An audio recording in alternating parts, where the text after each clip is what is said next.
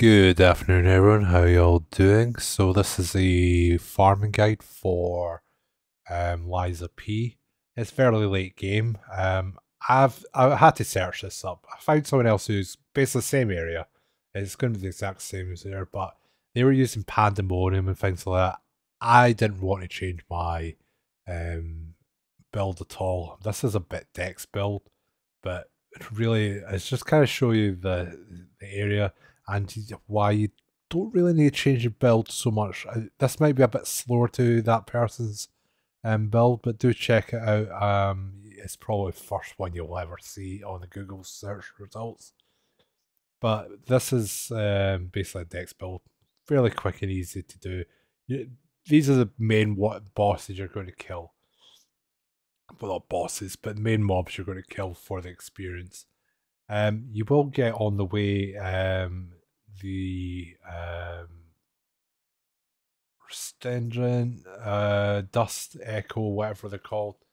Um, they'll give you at least 700. You can at least get one of those on each run. I've picked up three before. That helps as well. But you don't have to take these mobs on. These are just basically filler. Just can avoid them.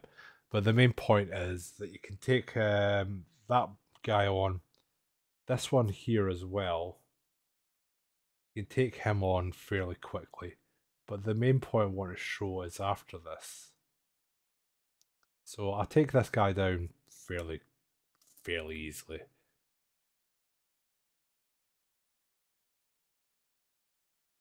So once he's down, you've got three of these enemies that basically I'd call them monks because they punch like a truck once they get start get going.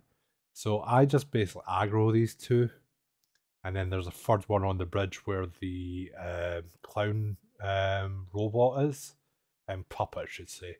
Now you got to remember these things don't like puppets, so I just avoid this fight and just go down. And three of them can take that thing on really quickly.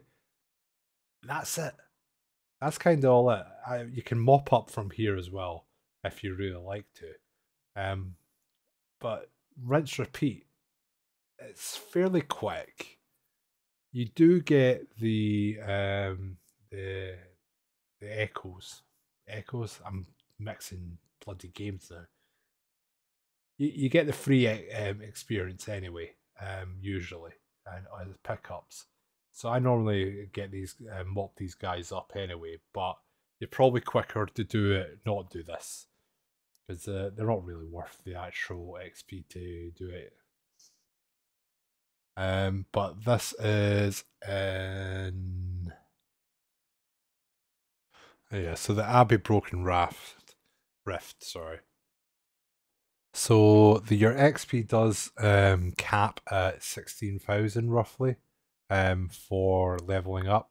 So you do get roughly about four thousand with the right um, P organs, and um, there's also an amulet that'll increase the amount of um, we'll call them souls, ergo, whatever it is that you get. So use them um, so it should be roughly five runs plus the consumables you get might make it quicker. But yeah, this is it. This is the best you're going to get. There, there may be faster ways to do it, but this is the way I found it. So thanks for watching. I'm Can't Double Jump. Thanks for watching. You can find me on YouTube, TikTok, and Twitch. Please like, share, and subscribe.